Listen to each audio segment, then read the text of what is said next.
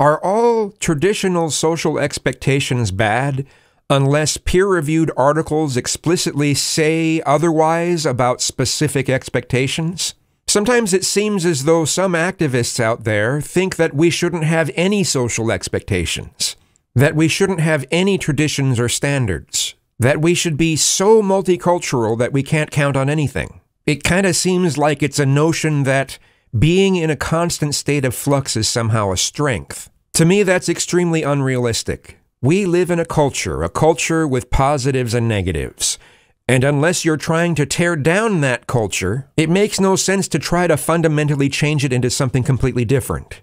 To me, we should focus on reducing the negative elements to this culture rather than trying to replace it completely. And if you want this culture replaced with something else, what do you want it replaced with?